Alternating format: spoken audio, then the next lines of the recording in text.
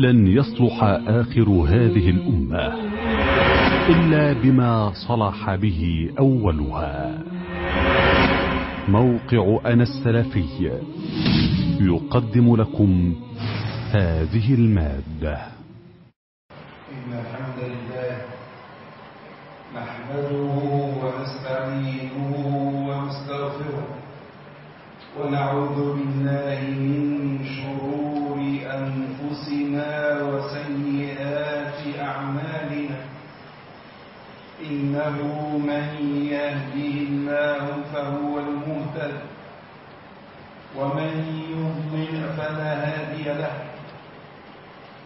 وأشهد أن لا إله إلا الله وحده لا شريك له. وأشهد أن محمدا عبده ورسوله. يا أيها الذين آمنوا اتقوا الله حق تقاته. ولا تموتن إلا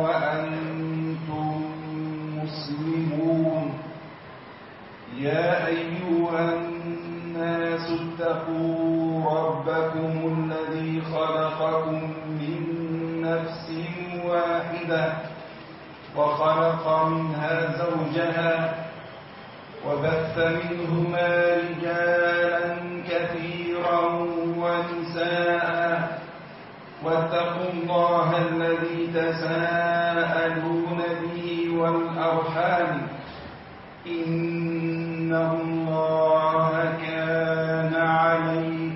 رقيبا.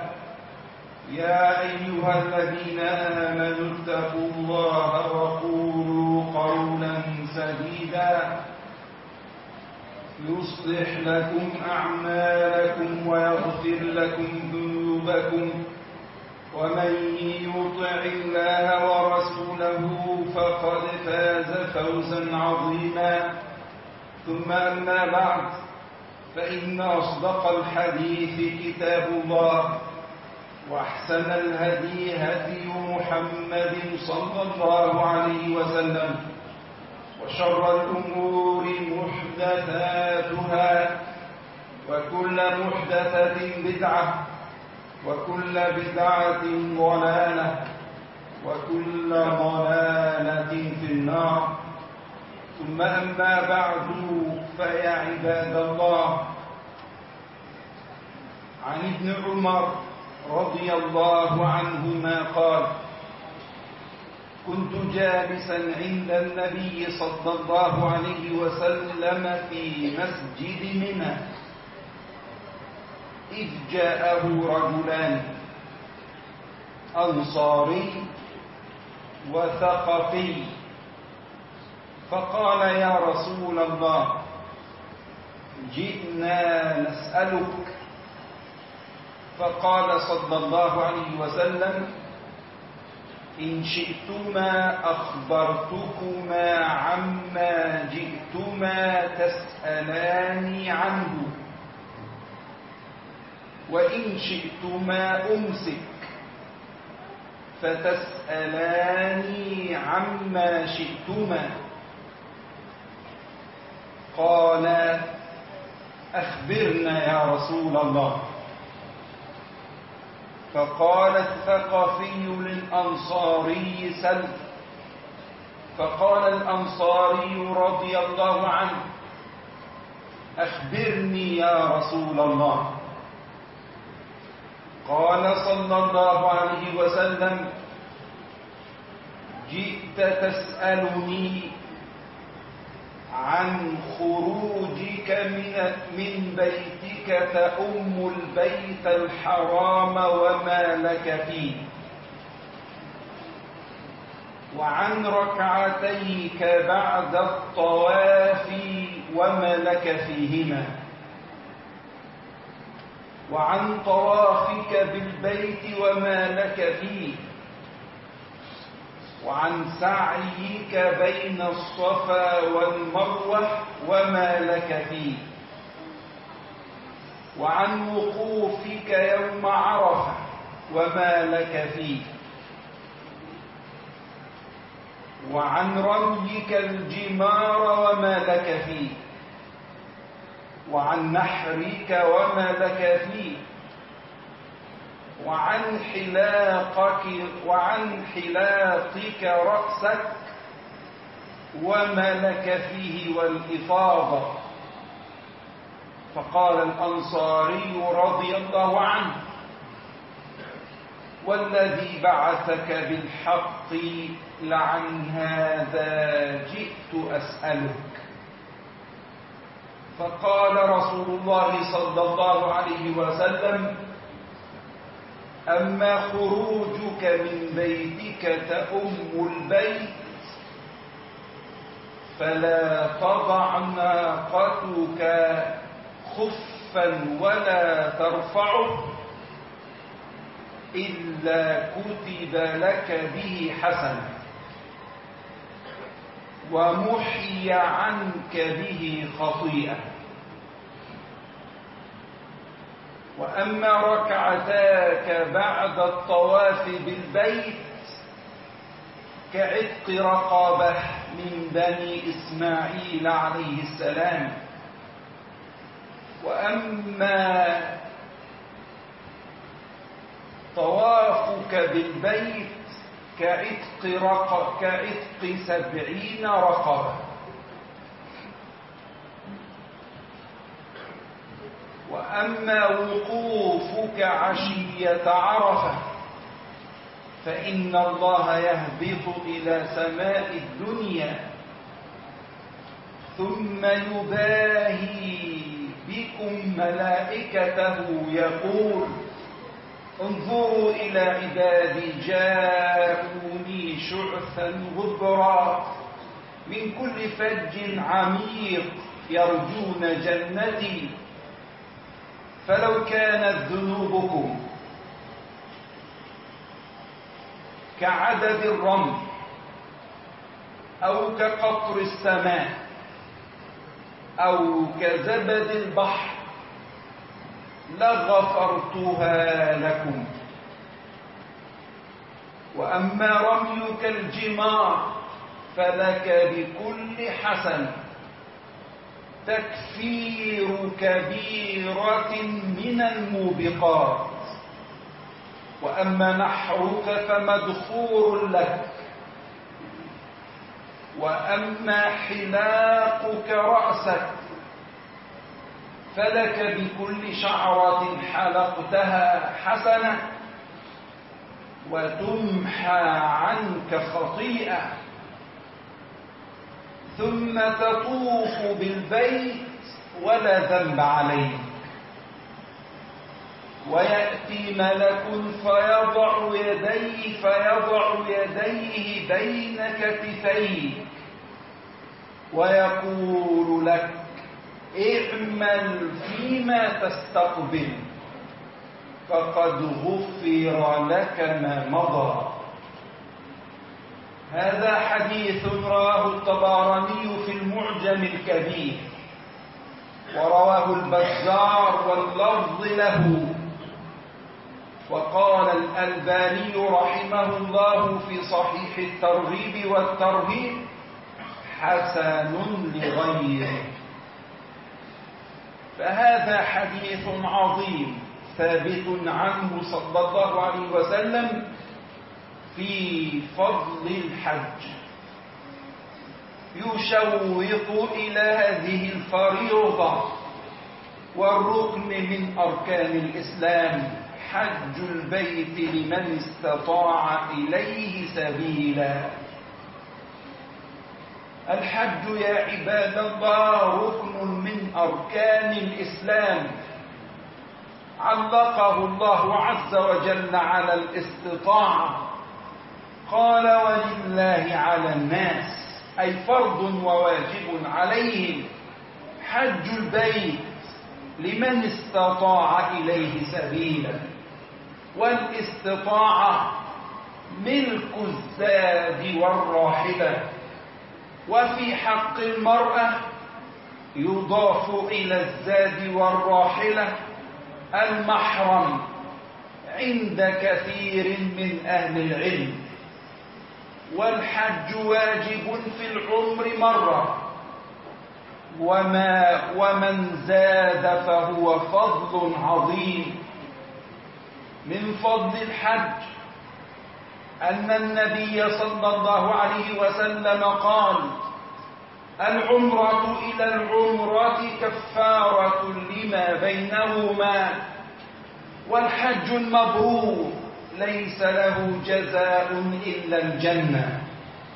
والحجة المبرورة هي التي لا إثم فيها وقيل التي لا سمعة فيها ولا رياء ولا فسوق.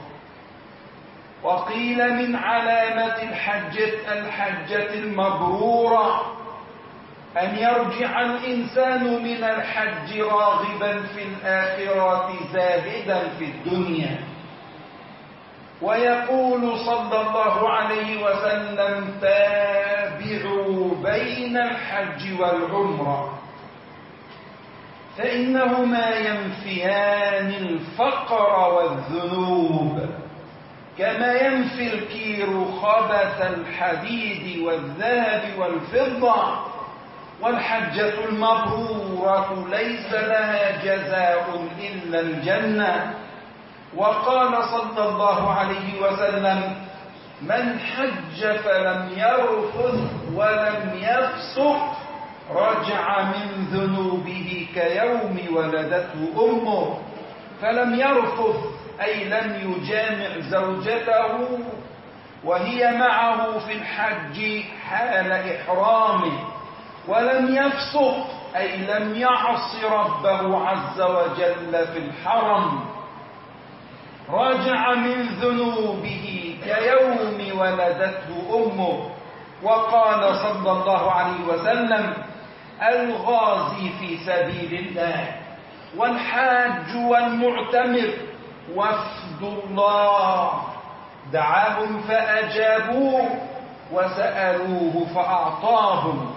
وقال صلى الله عليه وسلم ثلاثة في ضمان الله. رجل خرج إلى مسجد من مساجد الله. ورجل خرج غازيا في سبيل الله. ورجل خرج حاجا في ضمان الله أي في ذمته وعهده وحفظه. سبحانه وتعالى. والنبي صلى الله عليه وسلم أمرنا إذا ملكنا الزاد والراحلة أن نعجل. فقال صلى الله عليه وسلم من أراد الحج فليعجل. من أراد الحج فليعجل. فقد يمرض المريض وقد تضل الراحلة. وقد تعرض الحاجة وقال صلى الله عليه وسلم تعجلوا إلى الحج فإن أحدكم لا يدري ما يعرض له. فالأمر لل... فالأمر للفور عند كثير من أهل العلم.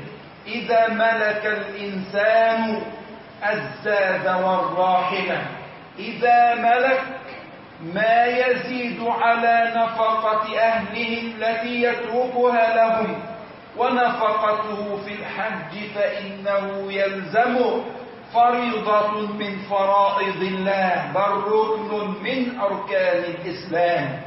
وفيها فضل عظيم شوق الله عز وجل إلى بيته.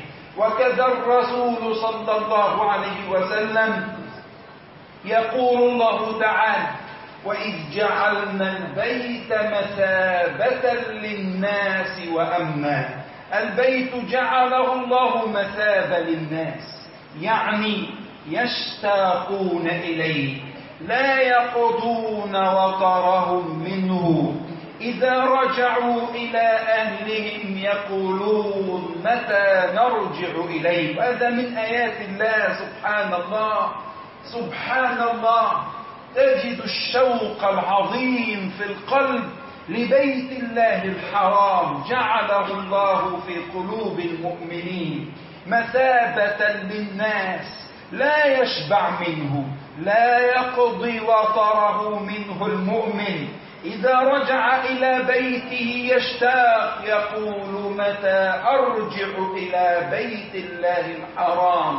وأمنا ومن دخله كان آمنا.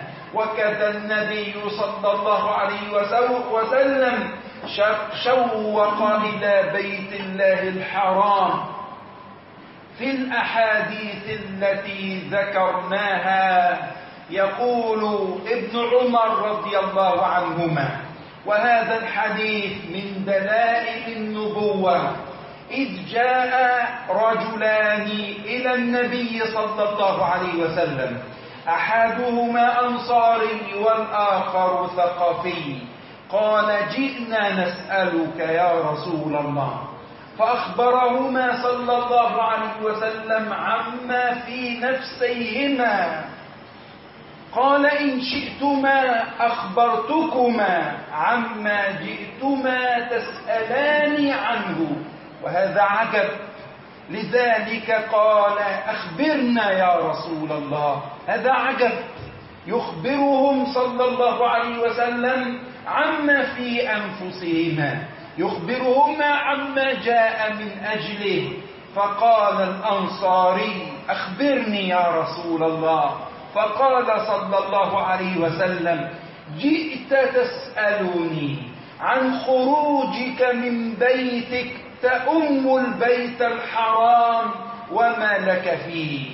ثم بعد هذا الإخبار قال الأنصاري والذي بعثك بالحق لعن هذا جئت أسألك يا رسول الله. لعن هذا جئت أسألك يا رسول الله. فأخبره صلوات الله وسلامه عليه وهذا من دلائل نبوته. وأنه رسول الله حقا وأن الله عز وجل قد أوحى إليه بأمر هذين الرجلين فأخبره صلى الله عليه وسلم عما جاء من أجله وبين لنا النبي صلى الله عليه وسلم الثواب العظيم. في كل عمل من أعمال الحج لمن أوقعه كما ينبغي ولمن أخلص في حجته ولمن أطاع الله عز وجل فيه ما له عند الله سبحانه وتعالى. ثواب عظيم. بل المنسك الواحد المنسك الواحد لو أنفق في تحصيل الدنيا وما عليها لكان قليلا ولكان حريا بالعبد المؤمن الذي يفهم الغاية التي من أجلها خلق لكان حريا به أن يسعى في تحصيله يقول صلوات الله وسلامه عليه فأما خروجك من بيتك تأم البيت الحرام يعني تقصده. تخرج من بيتك تقصد البيت الحرام. وأم فأما خروجك من بيتك تأم البيت الحرام. فلا تضع ناقتك خفا ولا ترفع. أي الخطوة أي الخطوة الواحدة الخطوة الواحدة. كتب لك بها حسنة ومحي عنك بها خطيئة. الخطوة الواحدة إذا فأنت في سبيل الله في ضمان الله سبحانه وتعالى في طاعته عز وجل من أول خروجك من بيتك تأم بيت الله الحرام. وأما وأما الركعتان بعد الطواف وهذه سنة كعتق رقبة من بني إسماعيل عليه السلام وذكر بني إسماعيل هنا لشرفها وثواب عتق الرقبة أن الله عز وجل يعتق من النار كل عضو منك بعضو منها. يد بيد رجل برجل رأس برأس يعتقك الله عز وجل من النار. والسعي بين الصفا والمروة كعتق سبعين رقبة. وأما الوقوف بعرفة فإن الله عز وجل يدنو من الحجيج عشية عرفة. يباهي بهم الملائكة يقول انظروا إلى عبادي جاءوني شعثا غبرا يرجو من كل فج عميق. يرجون جنتي يرجون جنتي. فيقول سبحانه فلو كانت ذنوبكم كعدد كعدد الرمل كعدد الرمل فلو كانت ذنوبكم كعدد الرمل أو كقطر السماء أو كزبد البحر لغفرتها لكم. لغفرتها لكم. أما رميك الجمار كل حصى يكفر الله بها كبيرا من الكبائر. كبيرا من الكبائر. يكفر الله بها كبيرا من الموبقات. كل حصى عند رمي الجمار. وأما نحرك أي للهدي فمدخول لك يدخره الله عز وجل لك. ثم يطوف العبد ولا ذنب عليه. حلاقك رأسك عند حلق الرأس. انظر هل يستطيع الإنسان أن يعد شعر رأسه؟ كل شعرة كل شعر حلقتها يكتب لك بها حسنة ويكفر عنك بها خطيئة. كل شعرة تحلقها لذلك. هذا حلق تعبد. الإنسان عندما يحلق شعره في العمرة والحج يحلقه تعبدا. لرب العالمين يقول يا ربي ها أنا أحلق شعري تعبدا لك تذللا لك. حلق تعبد لرب العالمين سبحانه. فكل شعر يحلقها يكتب له بها حسنة وتكفر عنه بها خطيئة ثم يطوف طواف الإفاضة ولا ذنب عليه. محيى الذنوب. محيى الذنوب. يطوف بالبيت ولا ذنب عليه. يأتيه ملك يضع يديه على كتفيه. يقول له اعمل فيما تستقبل أي ما مضى قد محي وغفر؟ اعمل فيما تستقبل فقد غفر لك ما مضى. ثواب عظيم. يشوق القلوب المؤمنة لحج بيت الله الحرام. أقول هذا وأستغفر الله لي ولكم. الحمد لله رب العالمين والعاقبة للمتقين ولا عدوان إلا على الظالمين. وأشهد أن لا إله إلا الله وحده لا شريك له. واشهد أن محمدا عبده ورسوله. اللهم صل على محمد وعلى آل محمد كما صليت على إبراهيم وعلى آل إبراهيم. وبارك على محمد وعلى آل محمد كما باركت على إبراهيم وعلى آل إبراهيم. إنك حميد مجيد. ثم أما بعد فيا عباد الله هذا الثواب العظيم. لمن حج حجة الفريضة أو حج حجة النافلة. كذلك أيضا هذه الأيام هو الميقات الزماني لفريضة الحج. فالميقات الزماني لفريضة الحج هو شهر شوال وشهر ذي القعدة وشهر ذي الحجة.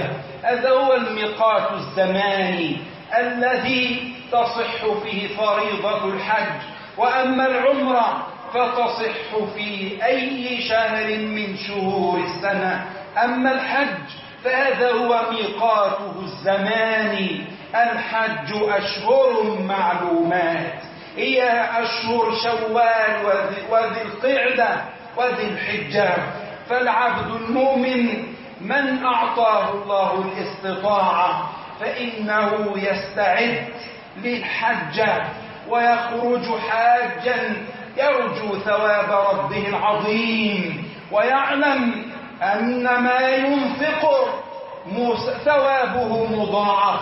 كما قال صلى الله عليه وسلم النفقة في الحج كالنفقة في سبيل الله بسبع بسبعمائة ضعف.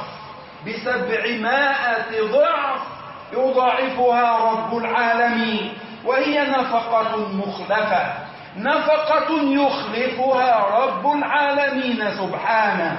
قال صلوات الله وسلامه عليه تابعوا بين الحج والعمرة فإنهما ينفيان ينفيان الفقر والذنوب. فإنهما ينفيان الفقر والذنوب كما ينفي الكير خبث الحديد والذهب والفضة. انظر عبد الله الحج ينفي الفقر العمرة تنفي الفقر وتنفي الذنوب. لا كما يوسوس الشيطان للإنسان أنه سينفق ماله ثم لا يجد عوضا لا لا والله.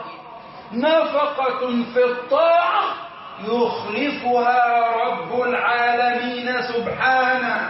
ومن حج يعلم ذلك ومن اعتمر يعلم ذلك. والله عز وجل يغنيك من فضله. طاعة الله فيها الغنى ما افتقر تقي قط كما قال رب العالمين. ومن يتق الله يجعل له مخرجا ويرزقه من حيث لا يحتسب. حدث الناس حدث من حج واعتمر. سبحان الله. عن عما أخلفه الله. من نفقة عليه ستجد خيرا عظيما. فلا تفكر فيما يلقيه الشيطان. وإنما فكر في مرضاة الله وتوكل عليه وفوض أمرك له. ستنال خيرا عظيما. أولا هذا الفضل العظيم. رجع من ذنوبه كيوم ولدته أمه. صحيفة جديدة صحيفة بيضاء. يبدأ الإنسان يستقبل العمل. ثم يخلف الله عز وجل عليه النفقة. هذا ما يفكر فيه العبد في هذه الأيام. نسأل الله سبحانه وتعالى أن يرزقنا حجة مبرورة. اللهم ارزقنا حجة مبرورة. اللهم ارزقنا حجة مبرورة. اللهم تب علينا إنك أنت التواب الرحيم. اللهم اشرح صدورنا ويسر لنا أمورنا. اللهم اشرح صدورنا ويسر لنا أمورنا. واستر علينا عيوبنا واغفر لنا ذنوبنا. برحمتك يا أرحم الراحمين. اللهم فرج الكرب عن المكروبين وارفع الهم عن المهمومين. واقض الدين عن المدينين. اللهم اكفنا بحلالك عن حرامك وأغننا بفضلك عمن سواك. اللهم إنا نسألك الهدى والتقى والعفاف والغنى. اللهم أصلح لنا ديننا الذي هو عصمة أمرنا وأصلح لنا دنيانا التي فيها معاشنا. واجعل الحياة زيادة لنا من كل خير واجعل الموت راحة لنا من كل شر. اللهم إنا نسألك رضاك والجنة ونعوذ بك من سخطك والنار. اللهم يا مقلب القلوب ثبت قلوبنا على دينك. اللهم اغفر للمؤمنين والمؤمنات والمسلمين والمسلمات الأحياء منهم والأموات. اللهم فرج الكرب عن المكروبين. اللهم فرج الكرب عن المكروبين. اللهم فرج الكرب عن المكروبين. اللهم أنج المسلمين المستضعفين في كل مكان. اللهم أنج المسلمين المستضعفين في كل مكان. اللهم كن لهم عونا ونصيرا. اللهم كن لهم عونا ونصيرا. ربنا لا تؤاخذنا إن نسينا أو أخطأنا. ربنا لا تؤاخذنا بما يفعل السفهاء منا. اللهم تب علينا إنك أنت التواب الرحيم. اللهم بدل أحوالنا إلى ما تحب وترضى وخذ بنواصينا إلى البر والتقوى. اللهم إنك على كل شيء قدير وأنت بالإجابة لجدير فتقبل منا رحمة الرحيم. قل هذه سبيلي أدعو إلى الله. على بصيرة أنا ومن اتبعني وسبحان الله وما أنا من المشركين.